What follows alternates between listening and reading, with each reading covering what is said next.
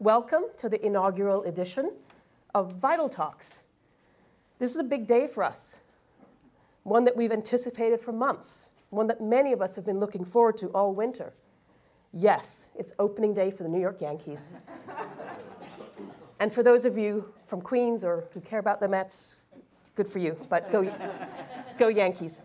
Um, so thanks for coming, seriously. Thanks for coming. We're pleased to host you in our new headquarters. And if you have a chance, please walk around to the fifth floor as well to see how we roll around here. Lots of meeting rooms, and um, but it's an open space environment, and we're really, really enjoying our new space. Thank you, Jose, wherever you are, for enabling that to happen.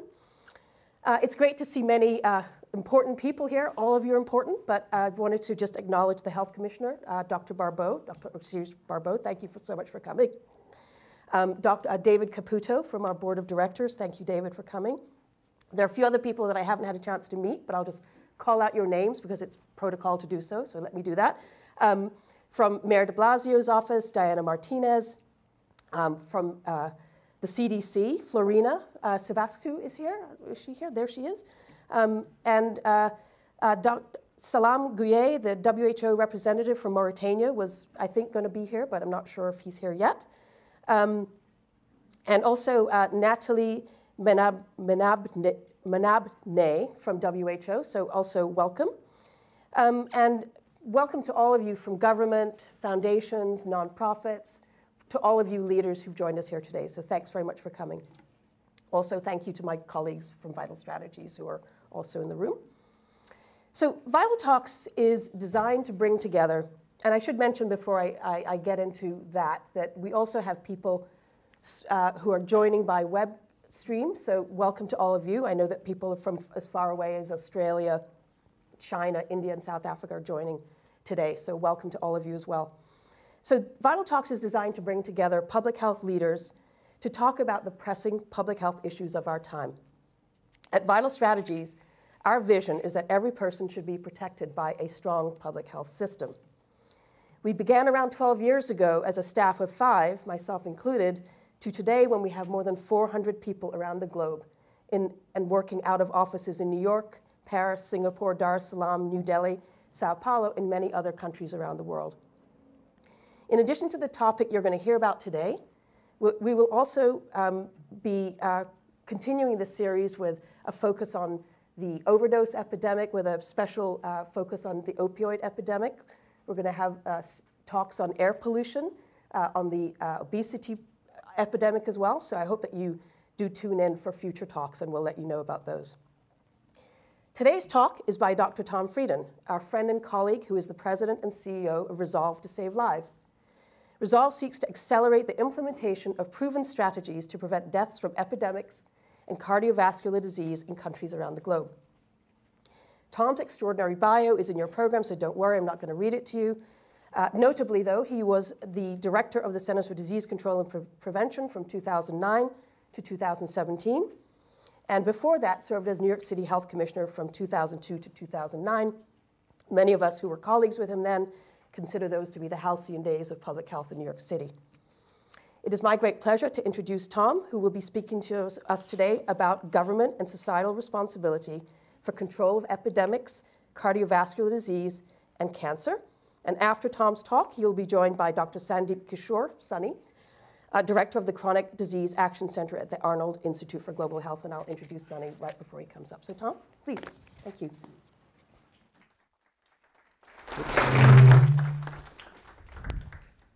Thank you very much, Sandy, and uh, thanks to all of you for being here. Good morning, good afternoon, good evening for those of you uh, web streaming in. To give you the bottom line, and I hope you don't leave after this, but this is the bottom line for what I have to say. Epidemics of cardiovascular disease, cancer, and infectious diseases aren't inevitable. We can stop them. And we means a combination of government and civil society. Not all of them, but many of them, maybe even most of them. And what that means is we have a unique responsibility to scale up our efforts to implement programs that work but aren't yet being widely implemented. Uh, Sandy's conceived of this series as really a chance for interaction and discussion. So I'll go through some slides quickly, but open up for uh, ongoing discussion and interchange. Fundamentally, what I'll be talking about are what I see as some of, not all of, but some of the key tipping points for 2019 in global health. We're either going to go from cycles of panic and neglect to focused closing of gaps in epidemic preparedness. Because we've had cycles of panic and neglect for a long time. I was chatting with some of you earlier about the measles outbreak uh, now and all the attention to it, and remembering when I started as an epidemic intelligence service officer in New York City in July of 1990, and we had a big outbreak of measles and hundreds of cases, dozens of deaths. Um, very challenging outbreak to control. Many of the cases in infants younger than six months of age, so they couldn't be effectively vaccinated. And that outbreak led to the Vaccines for Children program, a program which uh, helps vaccinate about half of all the children in the US, and which, when H1N1 influenza hit the US, enabled the rapid scale up of effective vaccination coverage around the world. The second tipping point is will we just continue hand wringing as our plan of action and neglect, or will we take effective action against the leading killers, non communicable diseases, heart disease, stroke, cancer, diabetes? And third, in this year of so called universal health coverage, or UHC, will it be empty declarations or will it be actually the development of high quality primary health care? And I think that's what's in the balance. At Resolve to Save Lives, we have two broad areas of effort. The first is to partner with countries to make the world safer from epidemics, particularly by strengthening areas such as uh, uh, laboratory networks, human resources, emergency operations centers, um, and uh, trained disease detectives. And second, uh, preventing cardiovascular disease. Cardiovascular disease is the world's leading cause of death, 18 or 19 million deaths a year. 10.5 million from hypertension alone. And our, our Zen koan of, uh, of our cardiovascular program is when does 50 plus 30 plus 0 equal 100?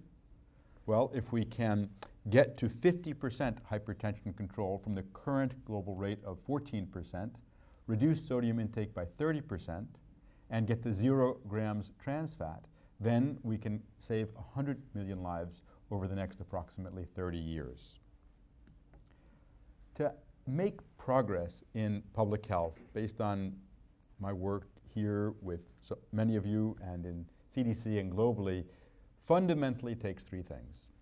First, technical rigor. You've got to get the details right. You've got to have a technical package which, if implemented, will get the results that you need to implement. Second, you need operational excellence. That means doing it well. At CDC, we used to say that the secret sauce of CDC was the combination of an epidemic intelligence service officer or an epidemiologist, along with a public health advisor or outreach worker to enable us to not just know what to do, but to get it done well. And in operational excellence, I think of tuberculosis control, where the approach really is to track every single patient put on treatment and be responsible for their outcomes. And third, uh, political support. Nothing is possible without political support. And that means from the highest levels of government, but that also means civil society pushing and pushing and pushing to insist that society and government made progress. So in the epidemic sphere, we go from panic to neglect over and over again. And we think this is not an inevitable approach. We think there are ways to move rapidly up. And the approach that we're promoting at Resolve to Save Lives uh, here with Vital Strategies is to focus on stepping up, going from red to yellow, yellow to green. And to our pleasant surprise, since the joint external evaluation process was launched about seven years ago, nearly 100 countries have gone through this exercise. This is a rigorous way of countries taking stock of their own level of preparedness. What you see in this um, interesting graph uh, on the top left is, uh, or top, you're right, uh, on, in the rows, different countries that have gone through the process, and on the columns, the different capacities. You can see there's a lot of red, a lot of yellow, not a whole lot of green there. Uh, and what that fundamentally says is that the world isn't ready for the next outbreak. And therefore, we will continue to see problems like the Ebola outbreak in DRC, like uh, outbreaks of typhoid and cholera, uh, and many other preventable conditions around the world. But we now have a way forward, and that is to step up, to see that it's possible uh, to go in each of those little boxes. Each of those boxes in that grid represents a really important capacity that can be strengthened and that we think will be strengthened to make the world safer. And this is just an example of one. Uh, looking at surveillance data. How do you get from a one to a two? How do you go from red to yellow? Well, you systematically identify which pathogens are most problematic. You track and understand where your gaps are in uh, surveillance data. You train national and subnational staff in analysis and data, data use so people can use the data. Uh, and you check data quality uh, at national and local levels. And for every one of those boxes, there's uh, a set of key actions like that that can make a huge difference. And over the past year and a half since we launched um, at uh, Resolve to Save Lives, uh, we've worked closely with many countries, particularly in Nigeria, where uh, the World Bank was funding uh, a large project, $90 million. It was not moving. Uh, it's now moving rapidly and making a big difference. And the result is detection and response time for outbreaks has gone from months to days. And we're seeing progress in many areas. The World Bank has now dedicated uh, over $500 million to closing gaps in the preparedness space. So there's possibility to make progress, but it's going to require all three of those key aspects. Technical rigor to get things like what needs to be done, what will really make a difference right. Second, operational excellence, getting it done. And third, political support globally to provide resources and within countries to scale up uh, programs. There are many barriers to, to uh, scaling up readiness. One of them is that countries are reluctant to borrow money for readiness. And so over the next few months, we have a major effort to try to get countries to, um, um, and the World Bank to establish what we're calling a grant window for preparedness that would allow countries to get resources to close gaps and create a global public good without having to take money out of their uh, envelope, which is needed for things like roads and bridges that are likely going to be higher priority uh, on the national uh, agenda than training surveillance officers, though not, not all of us might agree with that choice.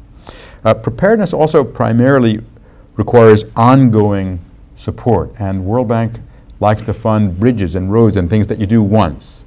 Uh, training people is things you do, at least start doing once, but many of these resources need to be done year in and year out. And country technical operational capacity can be a rate limiting step. The estimate is that there's a need for about $4.5 billion a year globally, and that this would effectively allow the world to close the gaps in epidemic preparedness. We need a new approach to incentivize preparedness, and we think that may happen in the next few months. It would be very exciting. Now, the second broad area that we work in in Resolve to Save Lives is cardiovascular prevention. And for the epidemiologists here, this is an impressive graph. For the rest of you, I'll just say the difference between the red line and the green line is 2 million deaths a year among people ages 30 to 69 from the leading killers of our day. Uh, the world has come together and made very ambitious goals, the Sustainable Development Goals. Uh, one of them is to reduce early death, ages defined as ages 30 to 69, from cardiovascular disease, cancer, diabetes, um, and uh, lung disease by one third by 2030. Now, the good news is that uh, that green line, uh, sorry, the red line shows where we're, where we're going now. Things are actually getting better. And as Hans Rosling very eloquently outlined in his book Factfulness, it's important not to lose track of that. Uh, the world is healthier than it's ever been. Uh, water globally is cleaner than it's ever been. There's less of it, but there, it's cleaner than it's ever been. And there are many areas of progress, but we're not making nearly as much progress as we could and need to. And if we were to meet the sustainable development goal of uh, one-third reduction, it would mean, compared to current trends, 2 million fewer people dying each year, tens of millions of deaths going forward. Now, there are areas of progress. Uh, a year ago, we, uh, less than a year ago, we helped launch the Replace Technical Package, and that uh, is a way of eliminating trans fat from the world. Global trans fat elimination is gaining momentum. Already Thailand has banned it since this package was launched. I love this slide because that's a trans fat free pastry from Denmark, the first country uh, to go trans fat free. India has released draft regulations to go down to 2% in fats and oils. The European Union has issued draft regulations to ban trans fat by 2021. Turkey and more than 30 countries have taken steps to move in this direction. High blood pressure kills more people than any other condition, more than all infectious diseases combined. And for every 20 millimeters of mercury increase over a systolic of 115, your risk of cardiovascular death doubles. Primary health care is the most needed, but whoops, what happened here? Primary health care is the most needed but most neglected area of health coverage. And providing Effective hypertension treatment services both requires and facilitates the establishment of effective primary health care systems. If universal health coverage is going to be more than a slogan, we have to see if systems around the world can actually make hypertension control a reality, going from 14% to 50%. Now, there are lots of reasons why we don't make progress in the non-communicable disease space. Uh, there are conflicts conflicts between commercial interests and health, the so-called commercial determinants of health, undue influence on governmental and clinical policies, friction sometimes between public and private sectors. Doctors and non-physician health providers can sometimes be in conflict. And pharmaceutical equipment and laboratory industries can not see the value of effective treatment programs. But there's also consonance healthier people are more productive and creative. So it may not be in the interest of the tobacco, alcohol, or junk food industry to have healthier food, but it's certainly in the interest of all other industries in society. Healthcare-based policies can increase the health and economic return on health investments, and every society is struggling to pay for health care. If we can make people healthier outside of health care, we can get more value for our healthcare dollars. Public and private healthcare sectors together can increase patient access to care, and team-based care is a huge quadruple win. It's cheaper, it's better, it provides more access to people, and it provides employment. And as has been done with HIV, making services more widely available grows the market. Uh, in general, though, there will of course be winners and losers among the companies. What does it take for government to make progress? fundamentally it takes courage, and that includes prioritization. Uh, it's inevitable that many bureaucracies will want for every uh, issue to be addressed, but if you're going to make progress, you're going to have to prioritize. One of the things that needs to be done is taxation. Tobacco, alcohol, sugar-sweetened beverages, salty foods, carbon. This is probably the single most effective way to address non-communicable diseases. Regulation is also crucially important. Smoke-free public places. Nicotine. What will the first country be to regulate nicotine out of tobacco? Sodium levels, trans fat, alcohol sales, drunk driving, healthcare quality, these are all amenable to governmental action. Warnings, plain tobacco packaging, front of pack warnings on unhealthy food, as, as well as uh, high quality campaigns of the type that Vital Strategies does around the world. And transparency is crucially important. It's a critically effect, a, a, very effective disinfectant. Uh, there's a lot of industry influence that isn't apparent. By making it apparent, we can reduce the impact. We can enable in healthcare systems every provider to practice at the top of their capability. This will save money and save lives. We can control costs by selecting optimal medications and optimal uh, products. And perhaps most importantly, we can try new approaches, evaluate rigorously, and share the results fearlessly and openly, what worked and what didn't work, so we can learn from our experience and scale up. Finally, I want to point out that these aren't inevitable problems. progress is possible. With support from Bloomberg Philanthropies and great work by many partners, including Vital Strategies, there's been, for the first time in history, a decrease in cigarettes being sold around the world. Over the past five or six years, uh, a half a dozen countries have helped more than 30 million people quit smoking, saving more than 10 million lives. So progress is possible with focus, with accountability, and with courage. Thank you very much.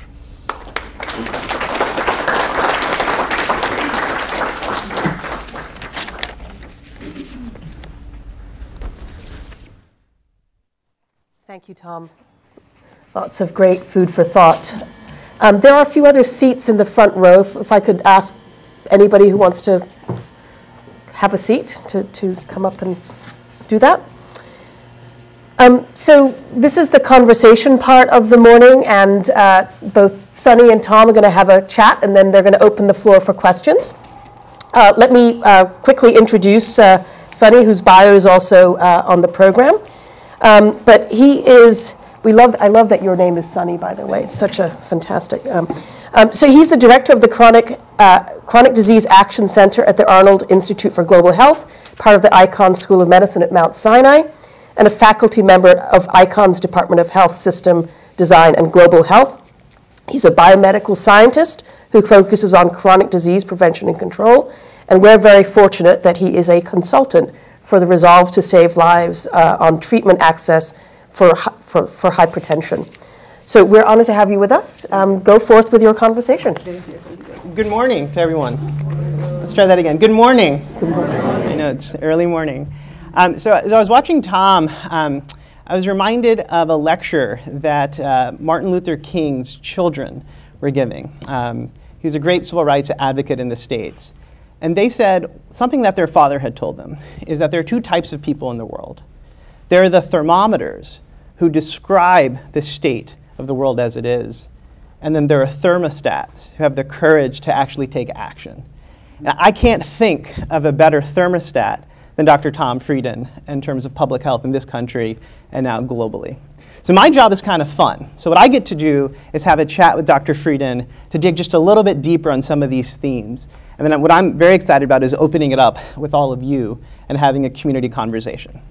Um, so Tom, uh, I want to do three things with you. I want to start with the why, I want to go to the what, and then I want to go to a how. So one of the first whys is you talked about courage, but one of the things that um, I think people would love to know about is what is your personal why? When you're at CDC, when you're at New York City, when you're taking on uh, companies, when you're taking on industries, what, what motivates you? To me, keeping it simple is very important. And the bottom line is we can save lives.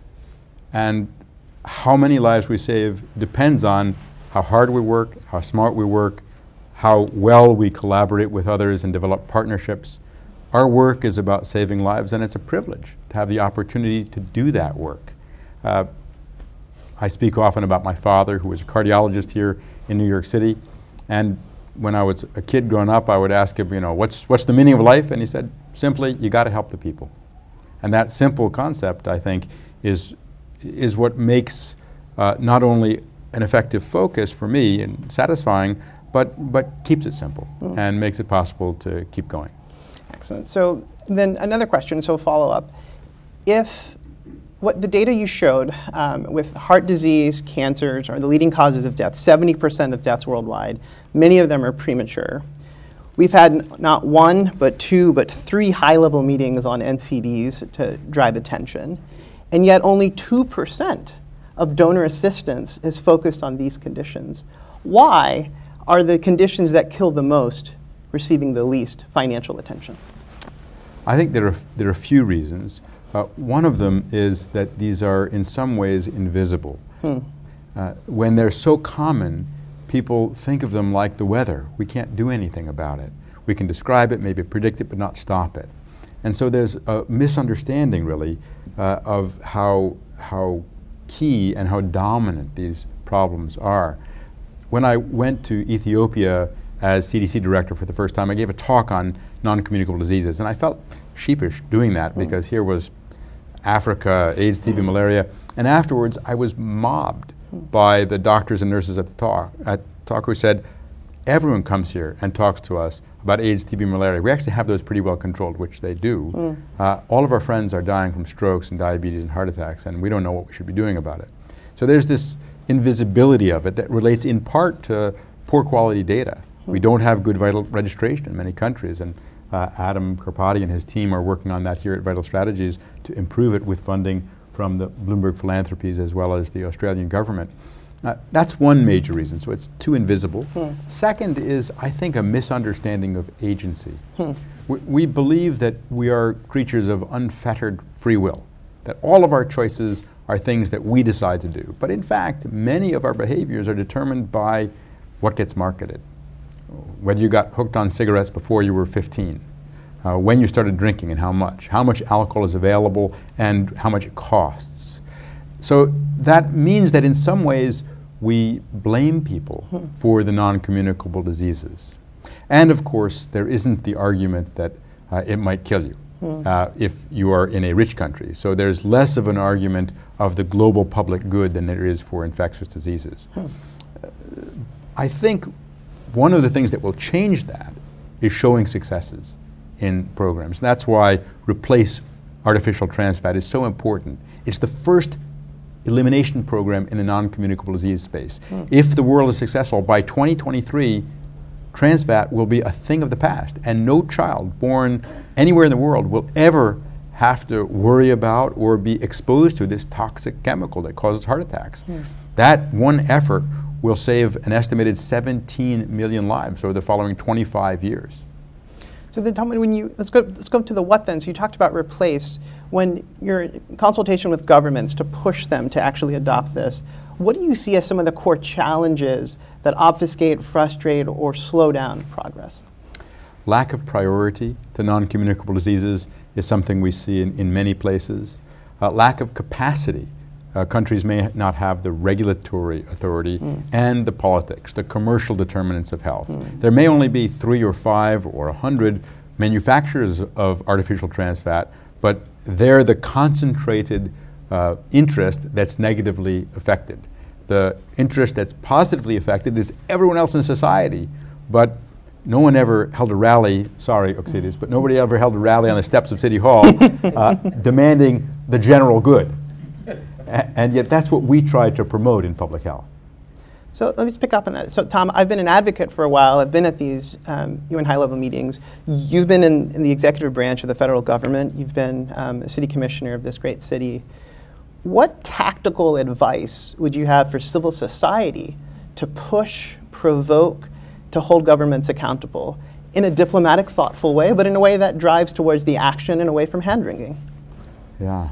Uh, when I um, my, the, my, first big job uh, finishing training was as uh, tuberculosis control officer for New York City in the midst of what turned out to be the largest outbreak of multi-drug resistant tuberculosis ever to occur in the US. Mm.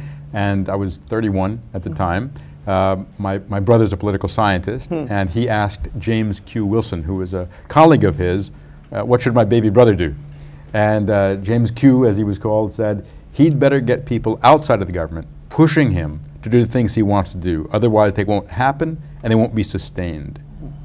And I think that's very important. Um, it's important also to be, um, I, I, there's a balance between demanding the moon and demanding the next step that needs to be taken.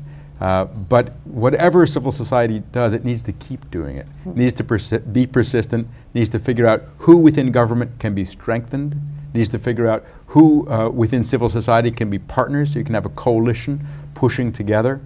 Uh, just to give you a quick, short story, sure. there was a uh, New York coalition to eliminate tuberculosis, and when uh, Mayor Giuliani started, Mayor Dinkins' term was finished, uh, Mayor Dinkins had just committed to renovating all of the TB clinics. Hmm. And there was a lot of concern that this would get cut uh, with Giuliani coming in. And so the New York Coalition to Eliminate Tuberculosis wrote a letter, went to the mayor, will you still do this? filtered down to the deputy mayor, the commissioner, deputy commissioner, to me, hmm. to write the answer. I didn't know what to write. you know, as a new, new administration, so I wrote this mealy-mouthed answer. Yes, we'll look at it. Went back up to the deputy commissioner, commissioner, deputy mayor. Got to the deputy mayor, and he wrote on it, no, we're going to build those clinics. And, and that made the decision. Now, the New York Coalition to Eliminate Tuberculosis, with that letterhead, was one person, Charles Ehlers, a former TB patient, hmm. Uh, who wanted to make sure that things got done right. Got it. So it sounds like we need a lot more of that on the global stage as well. Tom, so then in your presentation, in this spate of 10 minutes, we went from preventing epidemics to trans fats to hypertension. Governments and even civil society face so many competing interests, priorities. What advice do you have for decision makers on how to prioritize? choose winnable battles. Choose the things which, if you take them on and succeed, you're going to have a big success. If you don't choose the things that, that are tilting at windmills, maybe you want to choose some of those, but uh, you know that that might make a good movie or play or musical or novel, but not necessarily a great public program. Don't put a lot of attention to things that are going to happen anyway. It the, it's the things that are on the bubble where we can make a really big difference, and if we do, it's going to build confidence because success breeds success. And Tom, uh, this year in 2019, heads of state are going to meet on universal health coverage at the United Nations. There's been a big debate that you've been a part of of health system strengthening versus disease specific interventions. How do you put all this together for this year for people who are thinking about UHC, primary healthcare, health systems, and disease verticals? I've always found the, the debate about vertical versus horizontal to be misguided in a way. Um, I'm biased because I'm fundamentally a tuberculosis control doctor, and tuberculosis programs work really well when there are tuberculosis specific staff, not at all levels, but where they make sense. Uh, supervisors, trainers, people who develop technical policies in urban areas, tuberculosis clinics are very important. And yet it has to be part of the broader health system. Uh, the biggest gap we have in health coverage is primary care. And I've watched with some dismay as this debate has, uh, or commitment has spread globally. First, there's the risk that it's just words on paper. Right. Second, there's the risk that as it plays out in country, it exacerbates the over focus on tertiary care. Uh, yes, we need dialysis, but how about hypertension treatment to prevent people from having kidney failure so you don't need as much dialysis? So let's pick up on that, Tom. This is something I've teamed up with you on, and it's you've called it a puzzle. Um, what surprises you about getting access to these essential anti-hypertension drugs worldwide to prevent the dialysis sequelae? It's, it's, uh, it is a puzzle. On the one hand, we've found prices around the world that may be as low as two to five dollars for a whole year of treatment for hypertension. On the other hand, the differences between uh, drugs that are perfectly good and drugs that we think are probably optimal are not small. They may be two, four, five-fold. So how do you get good quality, safe, effective medicines out widely? Uh, our goal isn't very big. It's only to treat you know, another half a billion people. so how are we going to do that effectively? Uh, governments, and private sector, and patients, uh, unfortunately, may need to pay more, but at least they shouldn't pay more than they have to. So we talked about a transparency and accountability, Tom, for governments. What about the role of industry? And how do you, what sort of counsel do you have for government or civil society on engagement of industry on, say, trans fats or, or even on price reductions for drugs? Well, the three areas that we're working in have really interesting intersections with industry. For trans fat, uh, we just got excellent technical comments and advice from a major multinational corporation giving advice to any industry or country that wants to promote healthier oils. Uh, it's not simple. When you get rid of trans fat, there are certain products that are harder to replace it in baked goods, uh, pastry, uh, but it's possible, and it's possible to do that in the healthiest way. Industry has important knowledge. Uh, we now have a project we just announced last week in Nigeria and Pakistan, working with the Sun Business Network and GAIN uh, micronutrient fortification program to see if we can help small scale manufacturers not just get rid of trans fat, but promote healthier oils.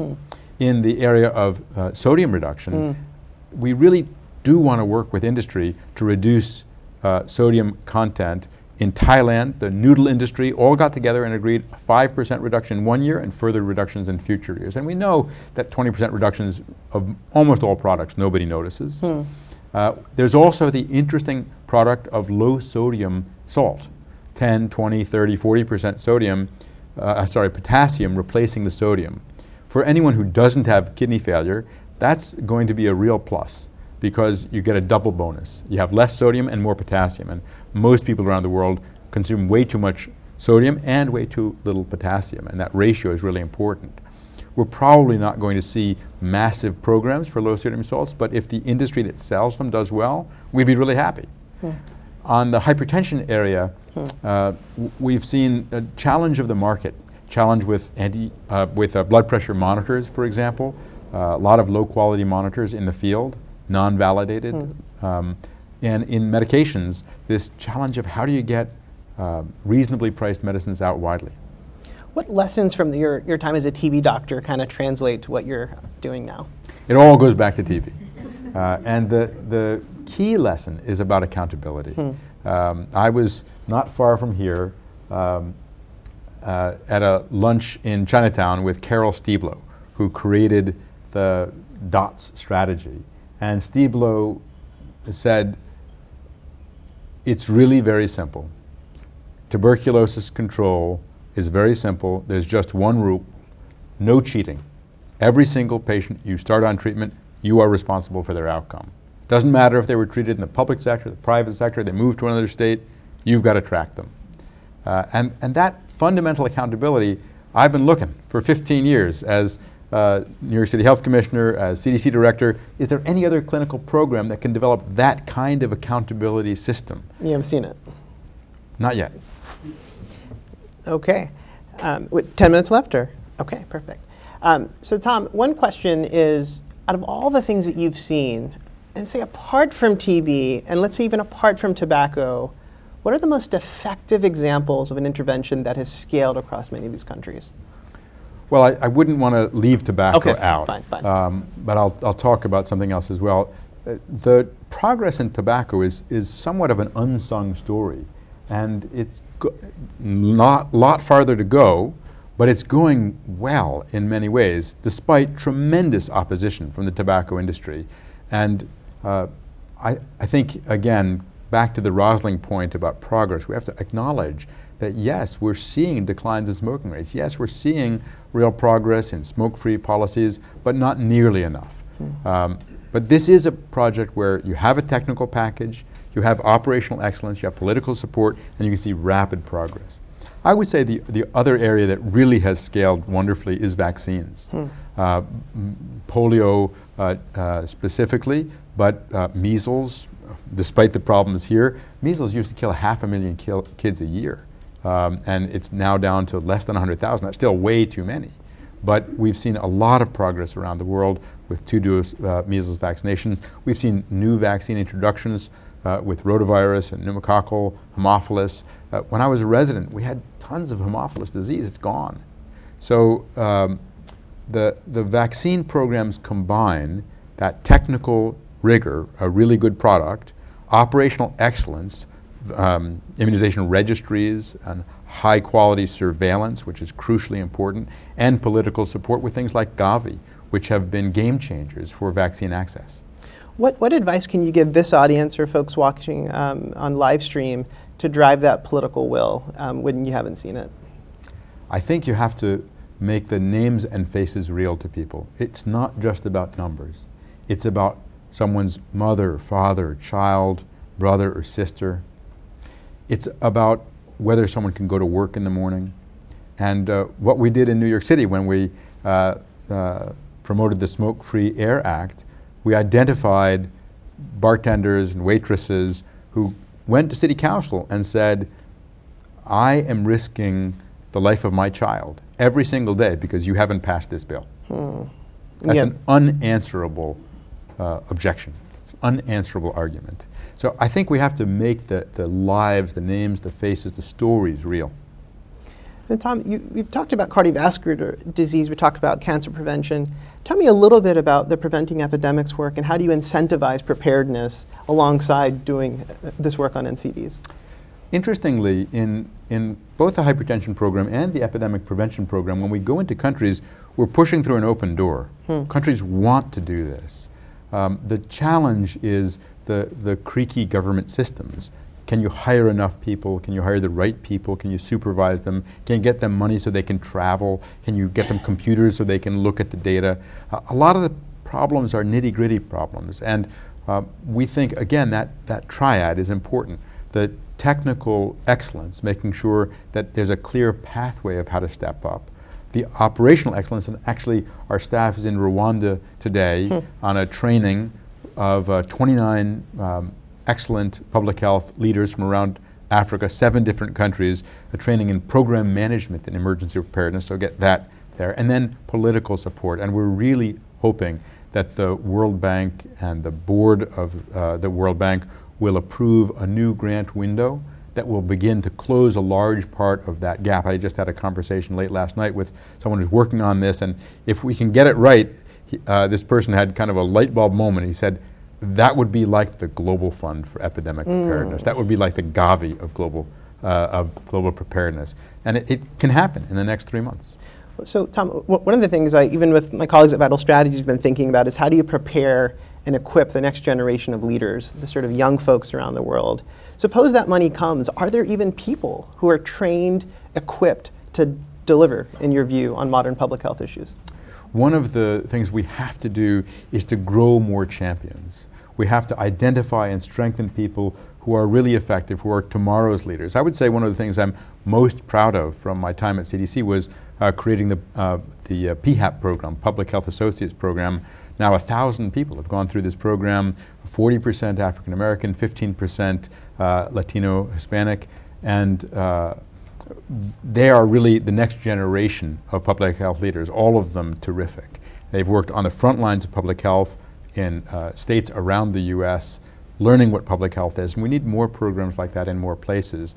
The field epidemiology training programs at CDC, uh, programs to foster people's progress. And I don't think we've figured out all the ways to do it. So that's one area that we need to continue to develop. Yeah, and I, I would say that people are in desperately uh, seeking mentorship and guidance on how to on how to build their careers in this space. Yeah, I, I, my staff would would blame me if I didn't mention linkscommunity.org, oh, okay. uh, which is a global community to try to build the cardiovascular prevention space and has now people from more than 60 countries, uh, webinars, online materials, and an increasing uh, suite of activities to build community. It's really exciting to see the lessons being learned among countries, between countries, and shared from one country to another.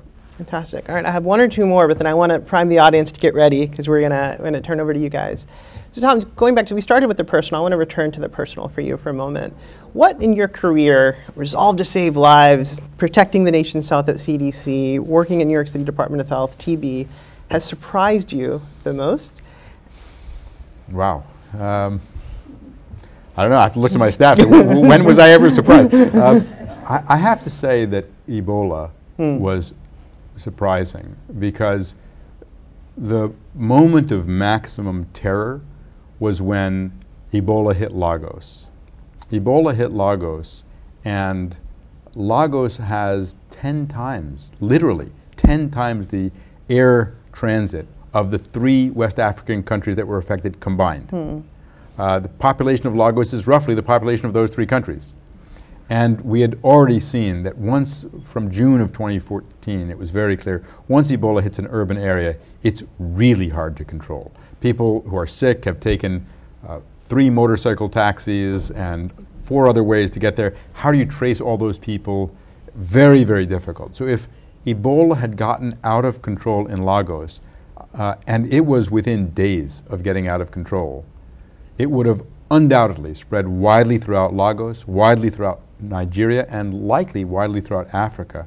And Ebola doesn't just kill people from Ebola, it shuts healthcare systems. Mm-hmm. It stops immunization programs, it stops cesarean sections, it stops AIDS, TB, malaria treatment. And uh, we were able to document in Guinea that more people died from malaria because Ebola shut the system than from Ebola be because of Ebola. Um, so this moment of terror was, was maximal. And uh, what made the difference was the polio eradication infrastructure. The folks from polio eradication who snapped into place put in an incident management system, were able to do contact tracing, good education, established isolation facilities, and they really made all of the difference. And that's an example of how if you build public health capacity that's scalable, it can make a huge difference.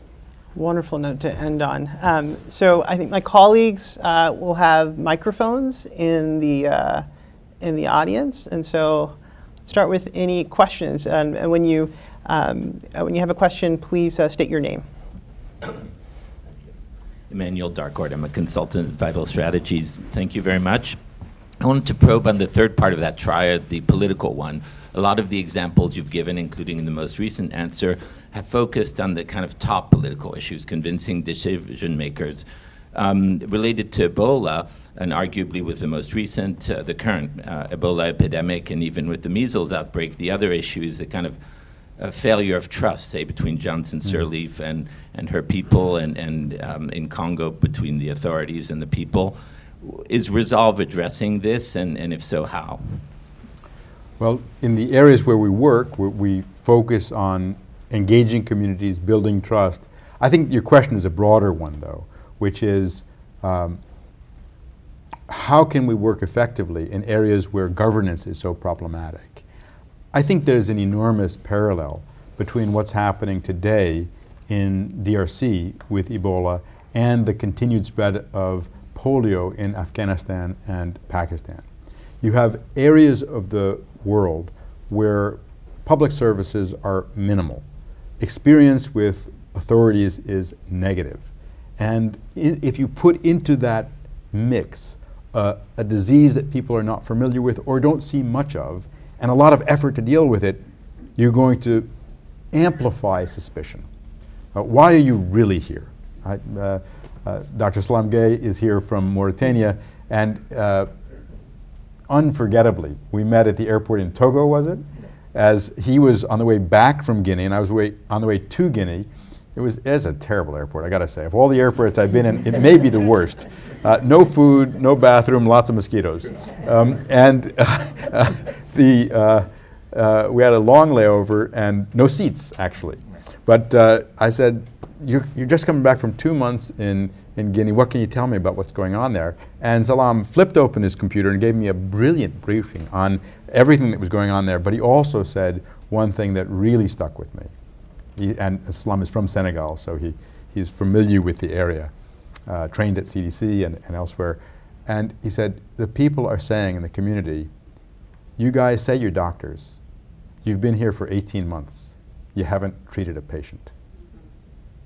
So I think in the communities where we're having trouble getting access, uh, Pakistan, Afghanistan, DRC, we have to provide effective services. We have to provide services that the community sees as valuable, and that will make a really big difference. And actually, Guinea began implementing what they called microcerclage, which was a great program where they went into communities and they provided healthcare services, food, support. They didn't quarantine the communities, but they did track where people were going when they left and came back. And we knew it was successful when the next community down the road said, could we have that too?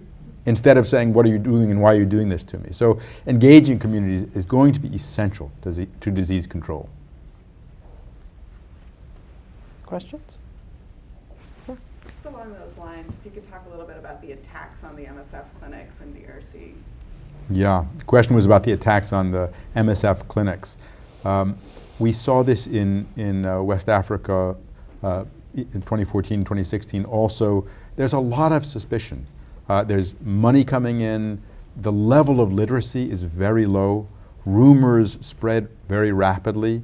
Um, the rumors that if you go into these centers, they're going to harvest your organs and sell them. So the degree of, of uh, distrust, paranoia, uh, relates to many years of neglect and to really uh, the importance of engaging people from within the community. Uh, someone was recently teasing me about uh, my early time as assistant commissioner in New York City when I was running the tuberculosis program. We were hiring outreach workers by the dozens, and in fact by the hundreds, uh, because we had actually 10,000 patients to track. So we needed hundreds of outreach workers. And we, we hired them anywhere we could. And I happened to be in a cab with a guy who spoke four languages, so I hired him on the spot to work for us, but he didn't work out very well. but one thing we did do was he offered any cured patient to come work for us. And we had cured patients working for us as patient assistants, patient advocates. And that kind of engagement of the community can make a big difference. You have a microphone? Yeah. yeah. Thank you very much, and uh, sorry a lot uh, for coming late. Uh, I was away very late yesterday, and uh, I wanted to come because Dr. Frieden inspired me all time to hear him. Um, just related uh, to the attack, uh, um, I, I, I, am in Mauritania now, but on December and January, I was the head of the Ebola response in DR Congo.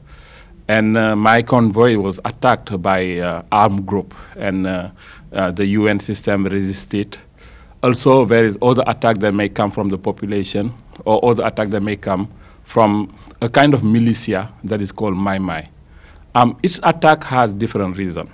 For example, the attack uh, from the rebel, the armed groups, um, mostly because you are on their territory, you are moving, and they want to show you that uh, we are in charge here. Um, I should admit that the day I was attacked, they could kill me several times, but they did not do it. They just wanted uh, to show me that they are there. For the Mai Mai also, we see the kind of militia that were created to protect themselves against all the armed groups. Um, anytime that they feel the population is being mistreated or neglected, they may attack you. Um, when I was there, um, um, staying on the regulation of WHO, usually I was in touch with the Mai Mai. Um, uh, we would talk to them before to do something and they're going to have the prime of the information. Um, uh, tell to the population uh, it's fine, uh, there is no problem. Often they don't attack you. But it's a very fragile relationship we have with them that can be broken with everything. So the recent attack with the, to the MSF, I was not there, so I don't know exactly what it is. But just to let you know that each attack has its own cause, and it is very difficult to know it. So we are obligated to respond case by cases. Thank you. Mm. Any questions from the audience? Yeah? Okay. You just say your name as well. Stereo. Hi, it's uh, Betsy. Betsy McKay from the Wall Street Journal. Um, just along those lines, what about, uh, you know, what about this increasing problem of epidemics occurring in places in conflict zones and how do you deal with that and what needs to be done that is not being done today? Be interested in what he, both of you have to say yeah, about I, that. I wish I had an easy answer for that. Um, I, I, think on, the, on one issue is negotiated access, and for many years, the polio eradication program has worked with the Taliban in Afghanistan to uh, promote polio vaccination. And the Taliban has wanted to demonstrate that it's, it could be an effective uh, in, governance. And so generally that collaboration has gone well. There have been new groups coming in Afghanistan who don't have that same goal, and that has made it harder in some areas. I think, on the one hand, where the security forces can make a place safer uh, for everyone, including for the response, that's very helpful. And there are areas of Pakistan, for example, which are now much more secure and therefore much easier to work in. But the bigger challenge, I think, is a challenge of community development. Um, you have to address the fundamental concerns that people have uh, because that will reduce the cooperation with elements that may be trying to attack the program. Doing that without being seen as a pawn of a repressive government may be challenging.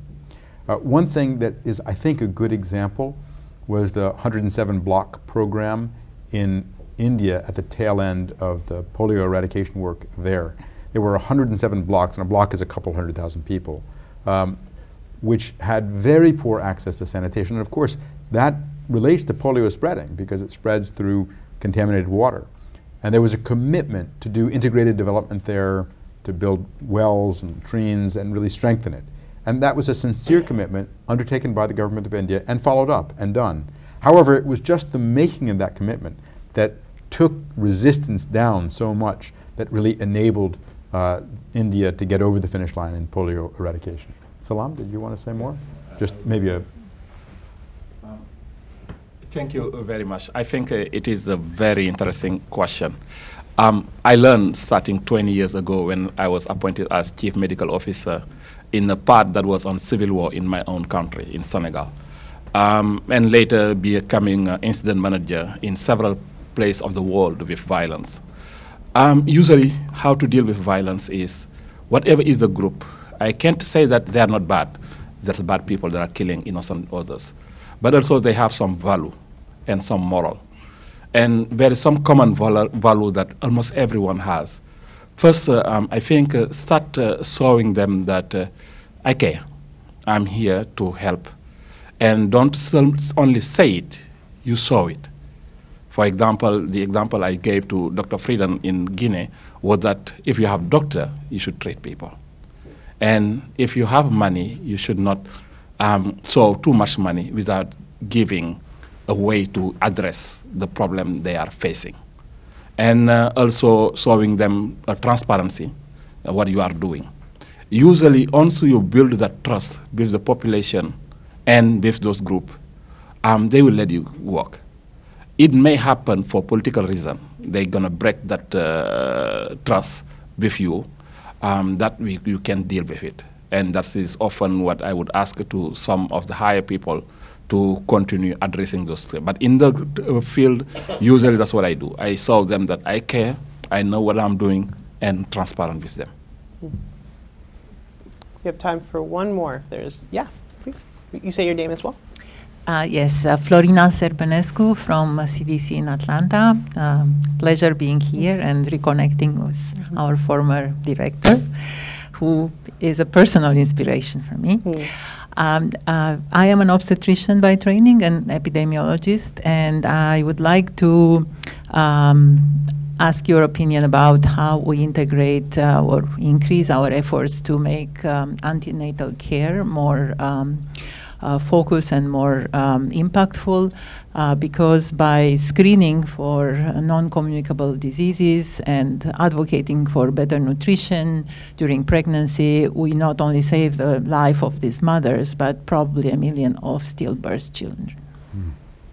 Thank you, and I think you will know the answer to that question better than I will, but I, I can just say that uh, maternal mortality is a critically important indicator of hospital and health system performance around the world.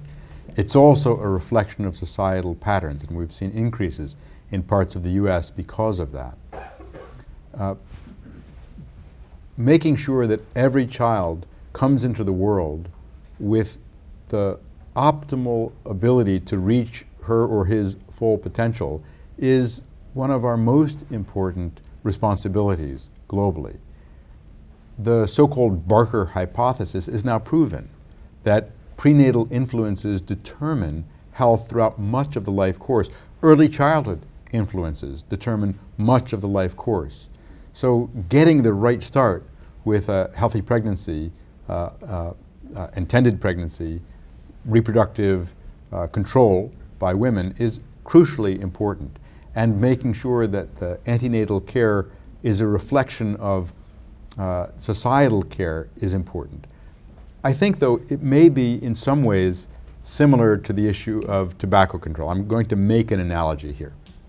In tobacco control, there's a lot of people who say, well, let's control it for kids and take these efforts to control youth tobacco smoking, but adults, you know, let's let that do whatever it does. And that's really wrong. In fact, what we found in New York City was we implemented only adult-focused tobacco control programs, and the youth smoking rate fell at twice the rate of the adult smoking rate. Uh, the analogy here is that we can't just make a healthier bubble for pregnant women, that we should do everything possible to promote their health. Um, if there's trans fat in the food, too much salt in the food, not healthy places to walk, dangerous roads where people can get run down while they're walking or bicycling. Uh, that's going to affect pregnant women and everyone else. But maybe, as uh, the group Tobacco Free Kids has done, we can make this effort to promote healthier pregnancies something that will promote healthier societies more broadly, as well as focusing on that critically important time. Excellent. So we've heard about technical rigor, operational excellence, and political will. Uh, Dr. Tom Frieden, thank you for your insights, um, and thank you to everyone here. Thank you, Sunny.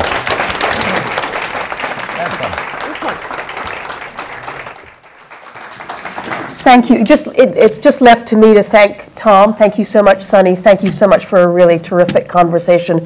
Thanks to all of you for coming. I hope you do join us for future conversations of this sort. And thanks to the team uh, at Vital Strategies who helped to put it together. So thanks very much, everybody, for coming. Thank you.